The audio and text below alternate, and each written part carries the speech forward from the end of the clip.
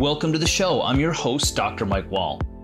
In today's fast paced world, we tend not to prioritize our own health.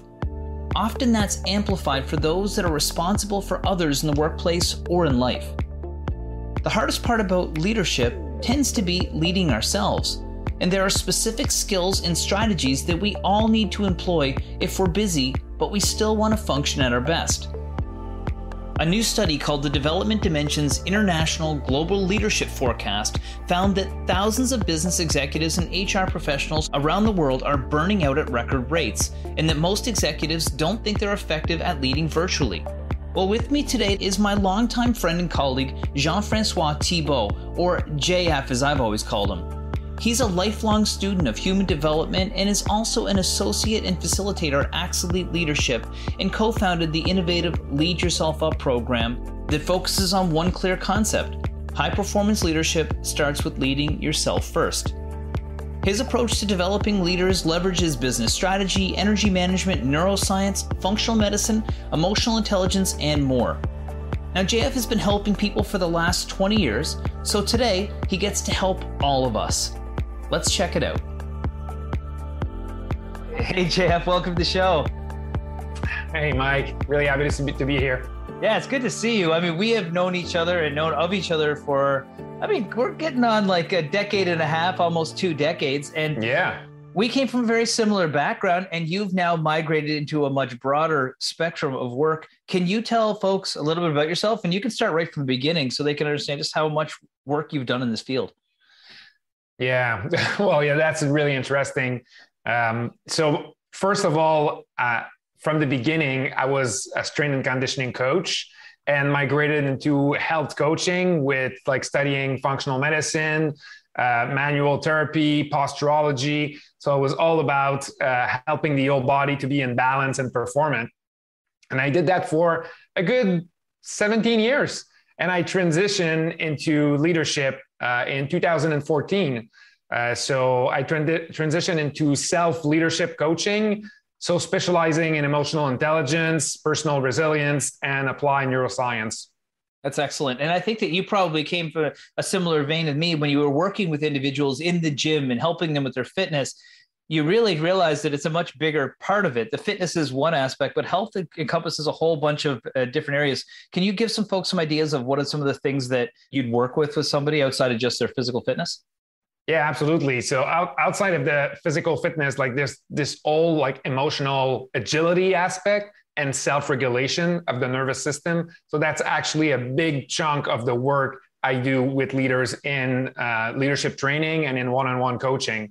Uh, also working on the mental aspect. So how to build self-awareness of ourselves and how to get back control over our attention. Like everything is competing for our attention nowadays cell phones, computer, like everything, everybody wants our attention. So how can we reclaim that back? So that's a, a big piece of the work. And how can we actually access the meaning that we give to life and how can we connect ourselves to our core values and take decision based on what's most important for us, our team and our organization.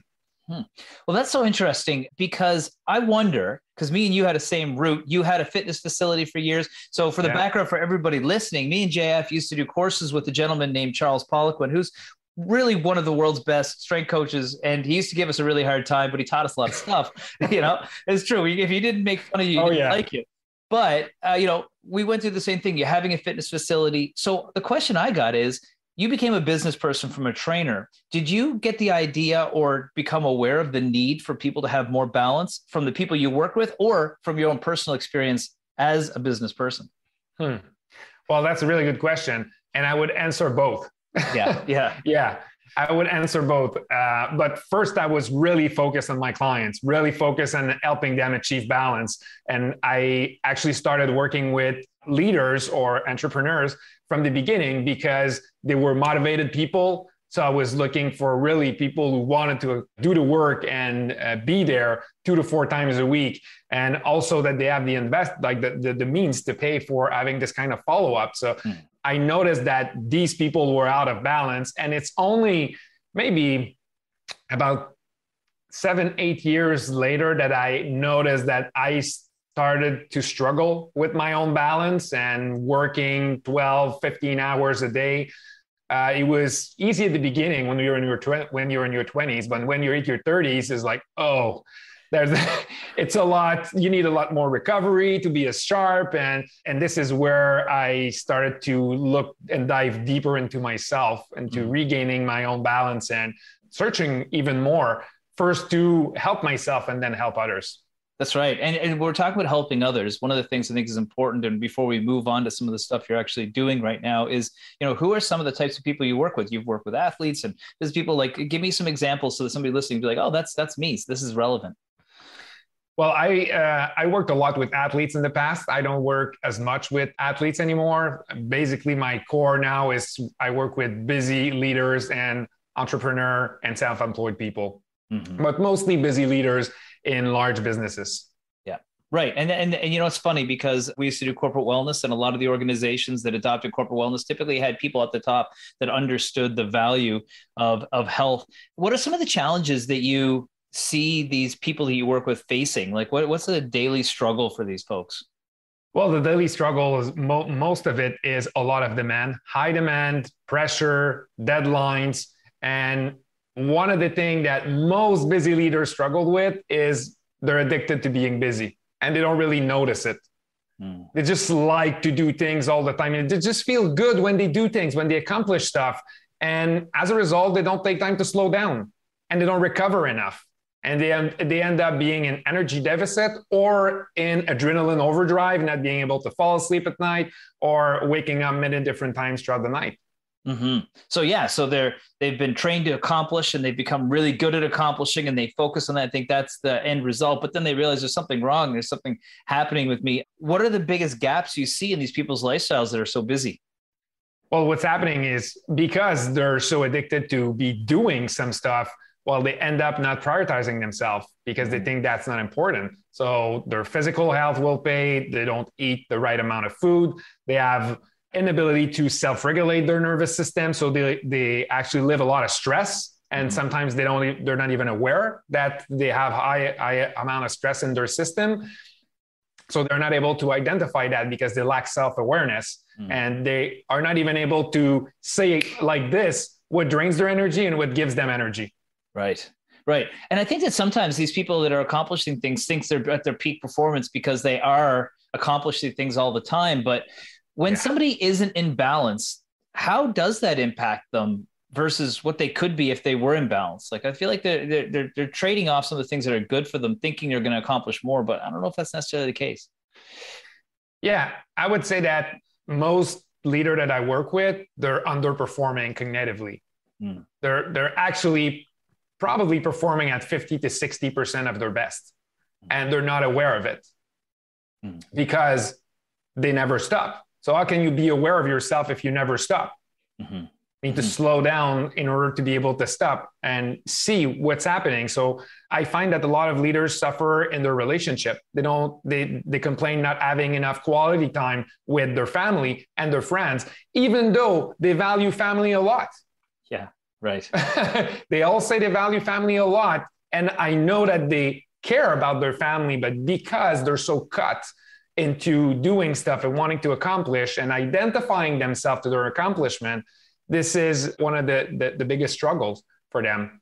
Right. Well, and that's what we're going to try and talk about today is that there's so much we could talk about because, you know, me and you, oh, yeah. we both love this topic, but we're going to try and keep it condensed for folks. How important is physical fitness when it comes to a leader and what does it actually give them? Well, fitness is directly linked to personal resilience. So if you have a resilient body, you will have a more resilient mind. Mm. So it's actually one of the most powerful way to discharge accumulated emotional stress. So yeah. fitness also, as you know, stimulate neurotransmitters that makes us feel good, that helps us to be creative, that helps us to solve problem, and it's one of the best antidepressant if it's not the best. So leader nowadays need to be more resilient. So fitness is one way to achieve personal resilience that was that was really key. It said something getting rid of like pent up energy for somebody who's there. Like I've recently gone through an injury where I couldn't exercise, and I found my ability to handle things was less because I didn't yeah. have that outlet. Especially when you've been active your whole life. Can you explain how that works in the body for folks? Because you've said neurotransmitters, but maybe they could get a little deeper understanding. Yeah, so when we actually exercise, whatever type of exercise, we're forcing the body to produce energy. And one way to get rid of the accumulated emotional stress, because when we are stressed, we're just accumulating that energy inside of our body. So the emotions are the language of the body. So when we are experiencing anxiety, frustration, irrit- irritability, which is there's a sur- there's a survey that actually demonstrated that most leaders on a daily basis will experience those negative emotion, frustration, irritability, and anger throughout their day. So they accumulate that energy. And then if they're not moving, well, the body is going to start to compensate and the body is going to start to break down because we're not discharging that energy physically. So by moving, we're actually getting rid of that store energy. Because I don't know for you, but I never learned how to really manage my emotion in a way that I live it and it goes out of my body and I don't feel it anymore. Mm-hmm, mm-hmm. I never learned how to do that. So people do that instinctively by doing physical activity. And we, I, I hear a lot of people saying like, I manage my stress through, through exercise. That's Jean-Francois Thibault, who's a leadership coach and wellness expert. He's sharing what leaders need to know to function at their best for themselves, their families, and their teams. We'll be right back.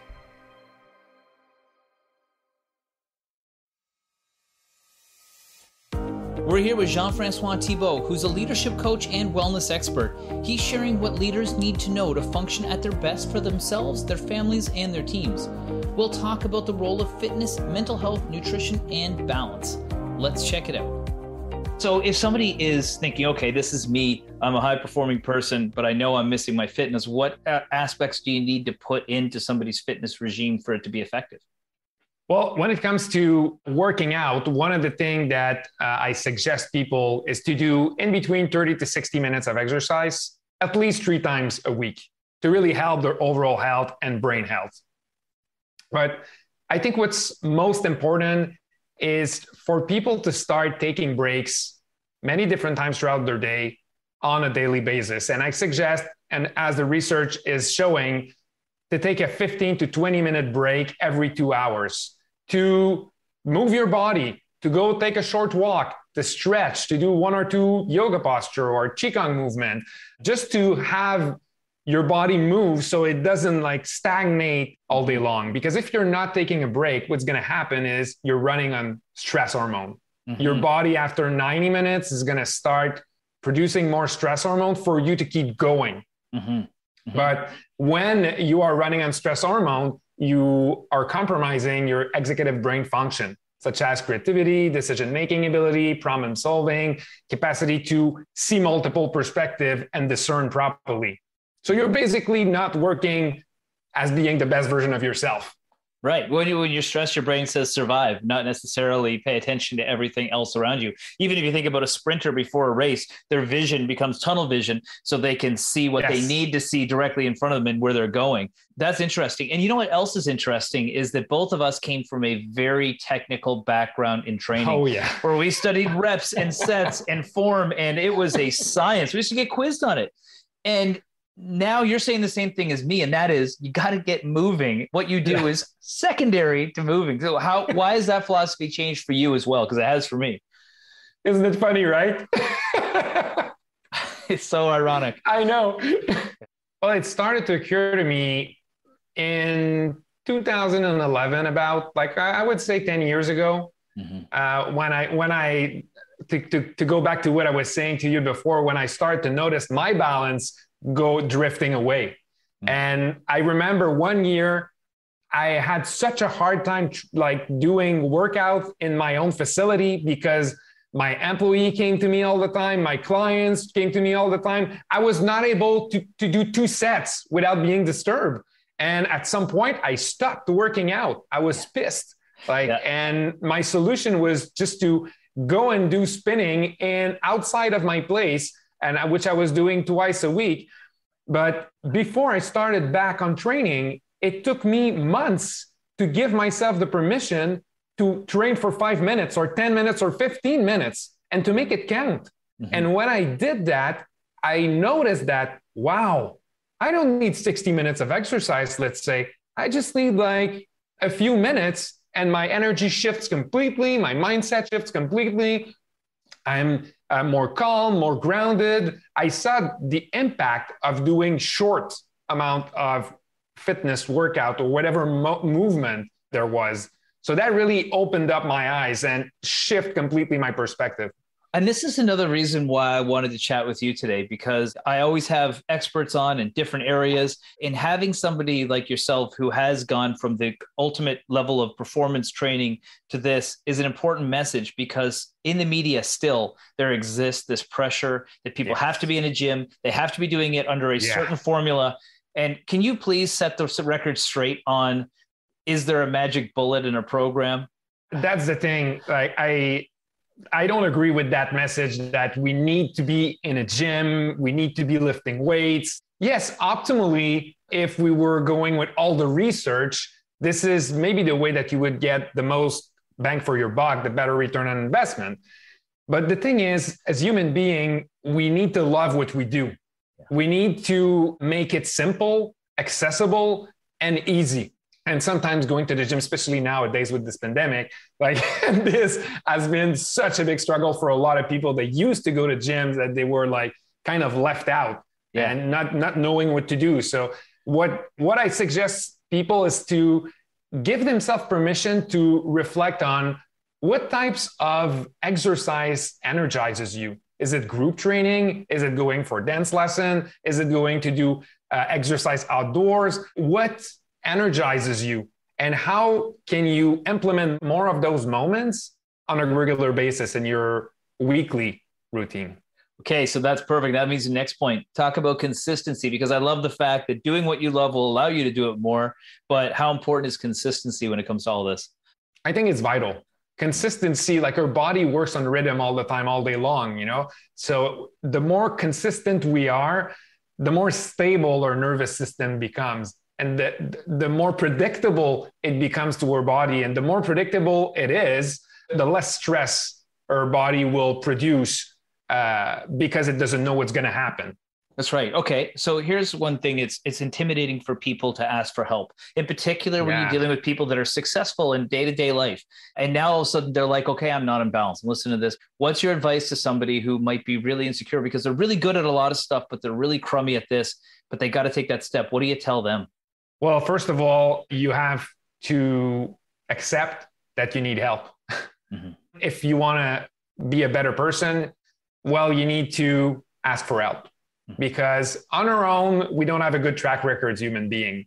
But first of all, need, we need to accept, and spe- specifically for men out there, because we have been socialized to be strong, to not be vulnerable, to not show weakness, to not be sad. So we, we have been socialized not to ask for help because it would mean that we're weak and we're not good enough.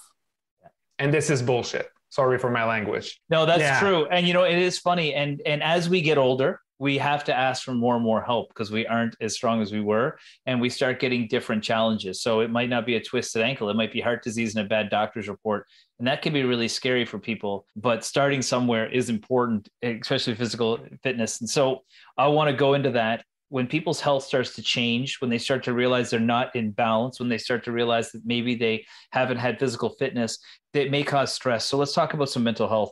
Um, yeah. you know how does gaining more balance in your life impact a person's mental health? Well, it's everything. Hmm. Like our mental health is directly connected to our body health. And if our body is not healthy, our mental health is not going to be there for us. So finding balance, having enough, and I would define balance like having enough recovery period throughout your day, throughout your week, in order for you to be able to renew your energy reserved. So if we are running low on energy, our mental health is going to struggle. mm-hmm. we're going to be more fatigued, more ten- towards tend to, towards depression, ten- tending towards like uh, feeling lost or uh, not having the resources, the necessary resources to face the dif- different challenge that we have in life. So energy is such a big component, and if we don't recover enough, our energy reserve are going to be drained. Right. And, and, you know, if we're drained or we've got too much pent up energy that isn't being released, I know that, for example, when I'm stressed, I don't think that's straight. But you also mentioned emotional health and emotional intelligence or EQ. Can you explain exactly what that is for people? Emotional intelligence has many different categories. And what I would like to talk about is emotional agility. So, mm. our ability to recognize what is the emotion that we're living in this very moment. Mm because we haven't been trained for that. My generation, your generation, let alone older people, haven't been trained to recognize what it is that I'm really feeling right now and how can I acknowledge it and how can I gather the information, the wisdom that this emotion is trying to communicate to me so I can actually act in alignment with what I need. Mm-hmm. So, this emotional agility, first of all, is to start being aware of how am I feeling and to name it. Name it. Is it frustration? Is it uh, the, the irritability? Is it sadness? Is it overwhelm? Like what, what it is. And emotions are subjective. If I show you the wheel of emotion with all the positive and negative emotion, and I ask you to pinpoint what are you feeling right now, well, you're going to take a moment to identify like am i feeling good? Am i feeling lower in energy? Am i feeling uh, more angry? And then what are the specific emotions that are connected to those broader categories? So being able to name the emotion has been shown that it actually reduced the intensity of the emotion by 50% mm-hmm. just naming it just saying like i'm feeling frustration right now. Well you're already 50% less frustrated if you're naming it mm-hmm. and if you're just present to the emotion well, there's a big thing I always heard, and it's called unconscious incompetence. So if you don't know what you don't know, you can't do anything about it. But you can become consciously incompetent. And you can say, "Hey, this isn't right." You know, it reminds me of that kids movie Inside Out, which I think everybody yeah. should watch because it's got these blatant emotions. But it's you realize really a lot of things are combinations of these. If somebody is able to name this and they are cognizant of this, how do you see that translate into somebody's daily life, in particular, somebody in a work environment?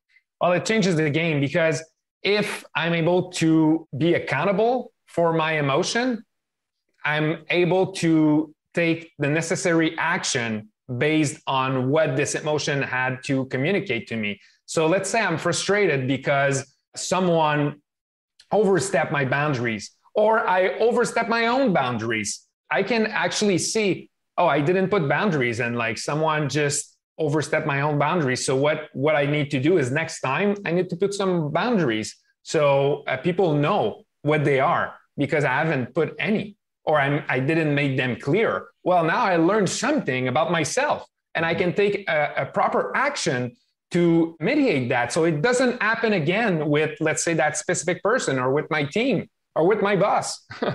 Well, if you're naming it too, you could say, oh, in this circumstance, I do get frustrated or I do get anxious or I do get angry. And then you're able to recognize the situation and say, hey, wait, I, it reminds me of football. Somebody sets up a formation, they're about to score a touchdown on you, they score, but now you can shift your defense for once. Yes. yeah. yeah because we're responsible for how we are reacting, but we're not responsible for what is triggering us. Like we got many triggers inside of us, but how we're reacting to the trigger this is what we're responsible for. That's Jean Francois Thibault, who's a leadership coach and wellness expert. He's sharing what leaders need to know to function at their best for themselves, their families, and their teams. We'll be right back.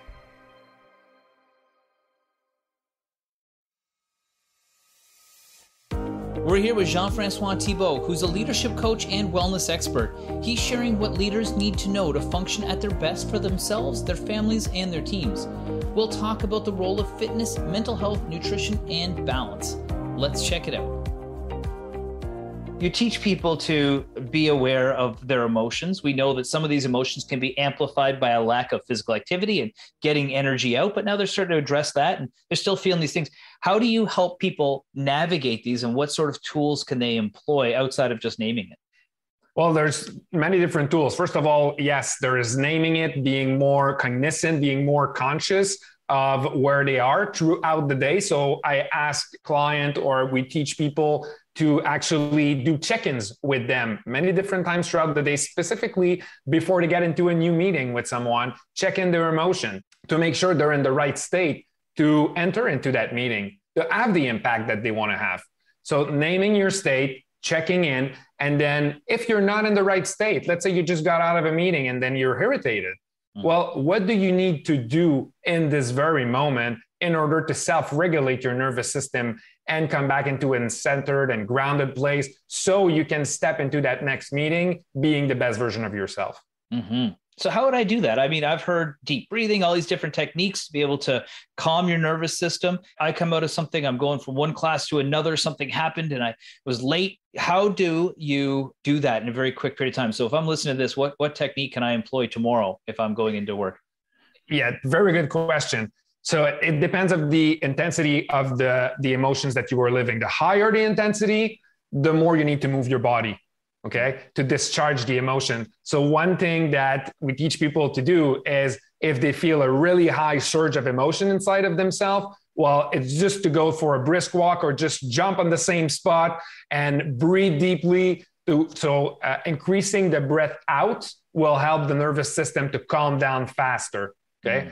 Another technique is also to wider your gaze.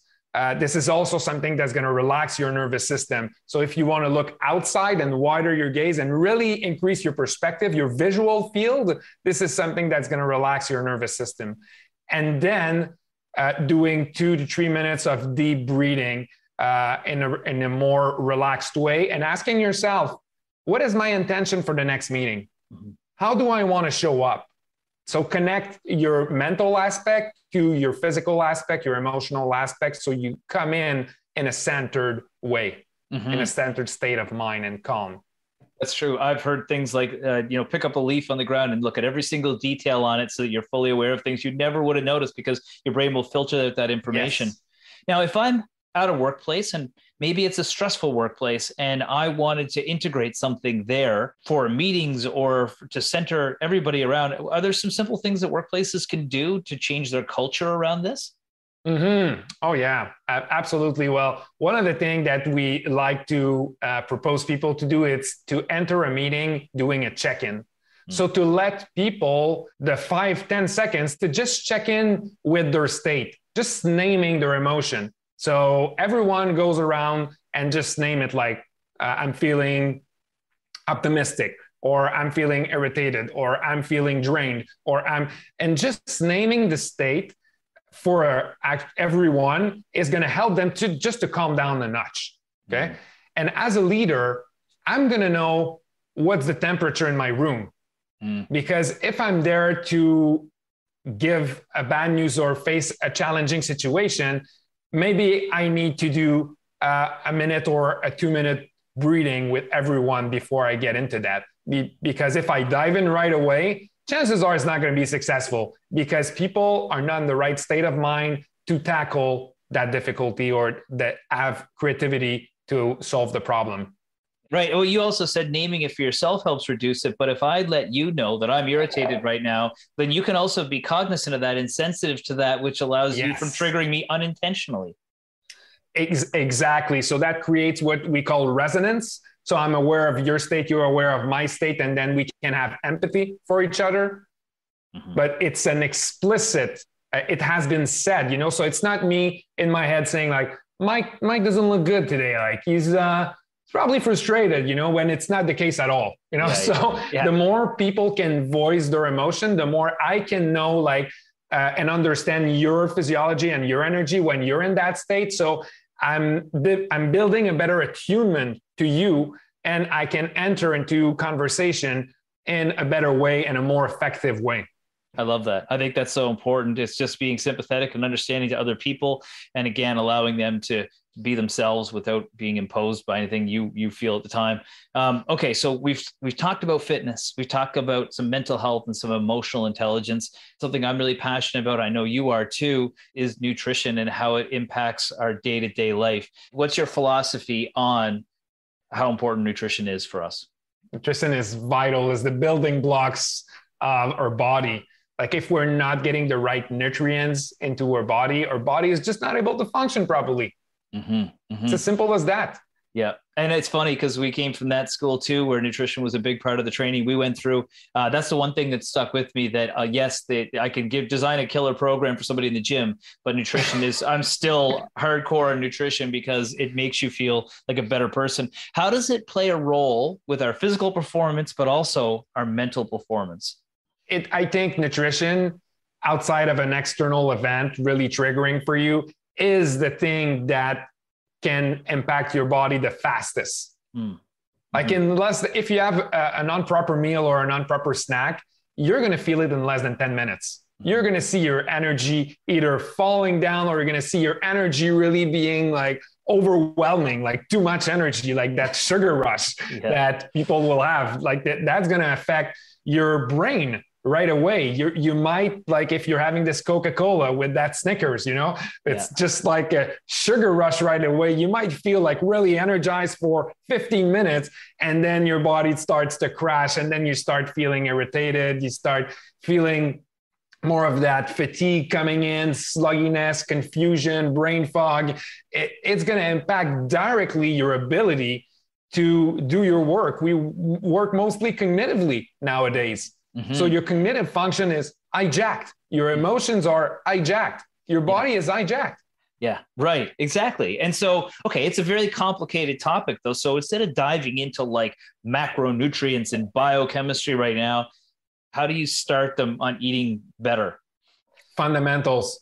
Yeah. I, I think, first of all, I talk to people about hydration. Are they drinking water in their day? Because if they're not drinking water, they're probably mildly dehydrated, and this will reduce their cognitive function by 30 to 40%. percent mm-hmm. That alone, just hydration. So this is one of the first thing is, are you drinking enough water? And then I will go to sugar. How much added sugar do you have in your day? And if you don't know, you must start to read the labels on what you buy because chances are you're having probably 100 to 150 grams of added sugar a day when I suggest people to have in between 30 to 45. Mm-hmm. How important is it for people to make sure they have a balance if they're trying to build a stronger body? Yeah, and and before even going into like micronutrients, the other thing that I would talk about is green vegetables. Mm-hmm. To have enough green vegetables because they are super rich in phytonutrients. They're super rich in magnesium. They're super rich in nutrients and antioxidant that our body needs to fight daily stress.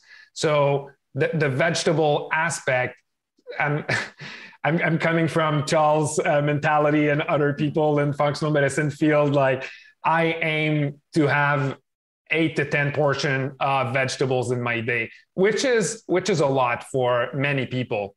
Mm-hmm. So having half of your plate to a third of your plate that are vegetables, I think it's one really good habit to keep in mind. Mm-hmm. And then macronutrients, protein, carbs, fat. So drink more water, eat your veggies. These are things we've heard before. Eat frequently. You know what I mean? Like make sure yeah. it's a good building blocks. But when you combine all these things together, and you got somebody who might not have been cognizant of these before, can you give me a couple of like real life examples of of of how you've seen this change people? Oh, I have so many. I have so many real life example. Like I, I, most people, when uh, in the first month, when you only change their breakfast and you make them drink more water if they weren't drinking enough, most people energy level double and they all lose weight. They will lose in between three to five pounds of weight mm-hmm. in the first month, just doing that. No physical exercise, J- just doing this because their body was just starving. Mm-hmm. Yeah. and you give them like hydration with in water we have oxygen this is the second way to bring oxygen to your body is breathing and then drinking water and if you're uh, eating more green vegetables and you start your day balancing blood sugar your body is happy your body is giving you a high five every single day that's Jean-Francois Thibault, who's a leadership coach and wellness expert. He's sharing what leaders need to know to function at their best for themselves, their families, and their teams. We'll be right back.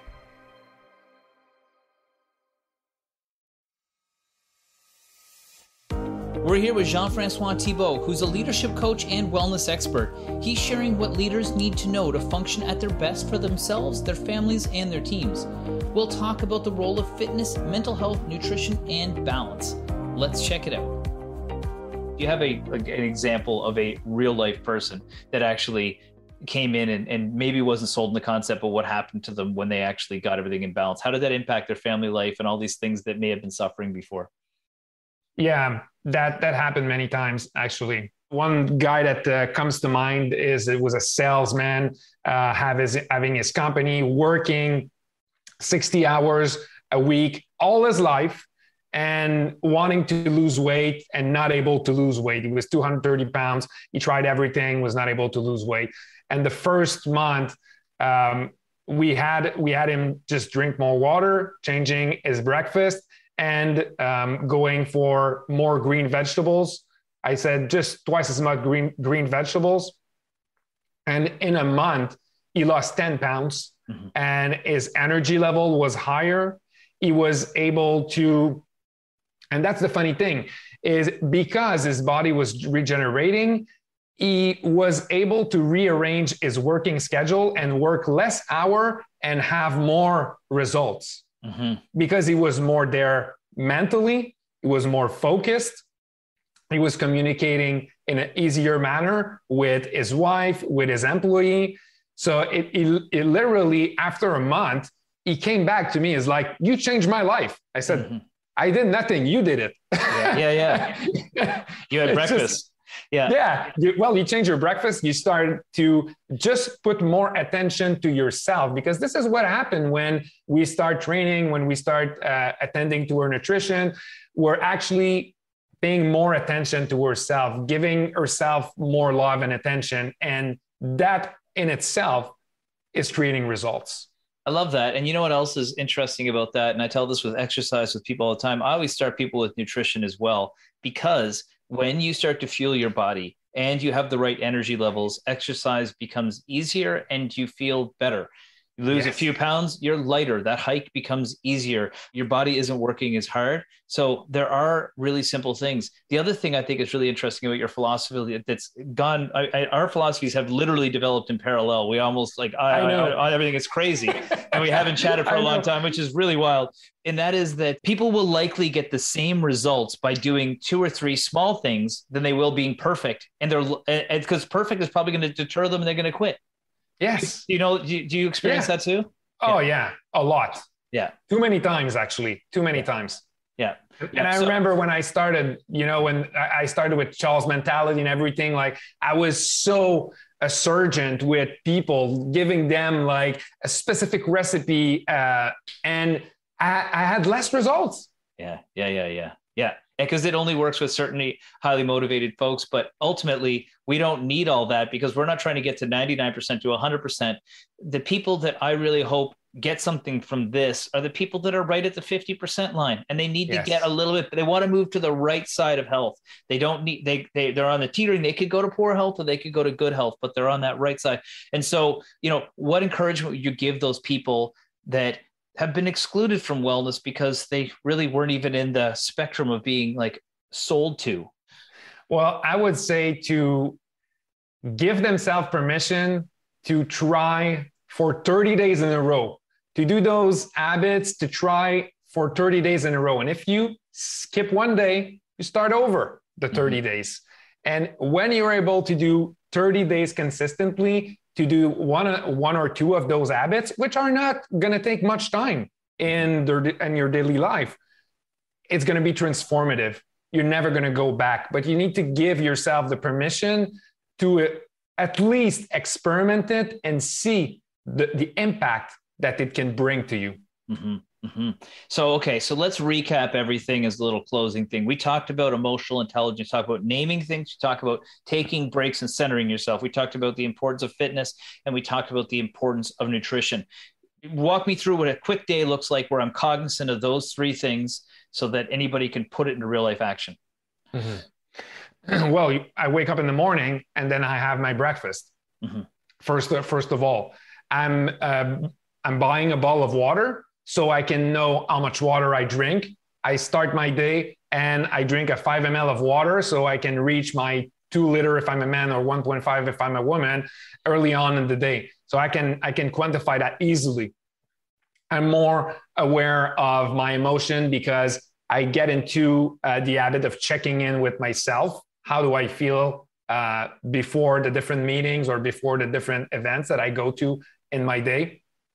And then I take a moment to breathe deeply, just to be aware of my breath, to calm myself down and to come back into a neutral space if I need it before I get into a meeting. So that th- this is three example of how you can integrate that in your life starting today as you're listening to this. Well, ironically, I stand up when I do all my interviews for the radio show to give myself give myself a little bit more of that physical uh, activity. And yeah, somebody gets a chance, they go for a walking meeting. If it's a nice day out, you can have a yes. meeting. It's better than being inside and having a mask. You can go outside, go for a walk if you're allowed to and you're able to. That's another way to get some activity. But none of that is difficult. It just requires a bit of trying. It's like riding a bike. Riding a bike becomes super easy after a while, but at first it's a bit wobbly. And I think that's what I encourage people. Yeah. And it requires intentionality. Yeah. You need to be intentional about it. It's not just going to happen to you. Mm-hmm. You need to be intentional about it. Okay. So, one more question is if I'm trying to make a change, how important is it to have people support you and to make it known that you're attempting to do it, to be brave enough to sort of share that with people? I think it has a huge component, uh, huge importance because when I name what I'm working on, first of all, I'm claiming it like people know I'm, I'm holding myself accountable in a way because people will know and they will they will get back to me and if i choose the right people to help me when it's gonna the tough's gonna get going uh, it's gonna be much easier for me to stand back up and start over mm-hmm. you know beginning again and i think it's vital to have if you don't have like a, a, personal trainer or a personal coach to have people in your network that are that they love you enough to keep you accountable. They love you enough to hear when it's tough. And they're not gonna be like in solution oriented mode all the time just gonna they're just gonna be listening to you. Mm-hmm. and sometimes we just need to be listened to about what's not doing well. And then when we said it right away it's clearer and we can mm-hmm. start over. Exactly. We could solve the problem just by hearing it. Uh, JF, if somebody wanted to reach out and get a hold of you to get some advice, how do they reach you? Well, they can follow me on LinkedIn. I'm posting regularly on the topics that we uh, are we, we, did speak today, and uh, I invite them to also watch our free masterclass on how to thrive at work and in life without compromising the business results and they can uh, watch that at leadyourselfupnow.com. Mm-hmm. And also, they can visit our website, axelliteleadership.com. I'll be sure to post all that on social media. But I got to say, buddy, it's been a long time. It's fantastic to see you. I love what you're doing. I think it's such a great, uh, important uh, service for the knowledge that you have in your head. So thank you for sharing that with us today. Hey, thank you, Mike. You're a really inspiring leader. And keep on the great work. Uh, you've been really inspiring me all those years as well. So I'm glad and so happy to be on your show today. Thanks so much, buddy. Thank you to JF for coming on today to talk about the various ways we can balance our lifestyles so we can work hard and we can play hard. Now, if you want to reach out to him, you can find him on www.axelliteleadership.com. That's A X E L L I T E leadership.com. Focusing on the fundamentals like hydration, movement, checking in, and prioritizing our own health were key messages that resonated throughout our conversation. For those of you that hold productivity in high regard, remember the saying that health isn't valued until it's lost. Just something to keep in mind. Well, I hope you learned something new today that you can start applying in your day to day life tomorrow. Well, that's our show. I'm your host, Dr. Mike Wahl. We'll see you back here next week for another episode of the Wellness and Healthy Lifestyle Show on your VOCM.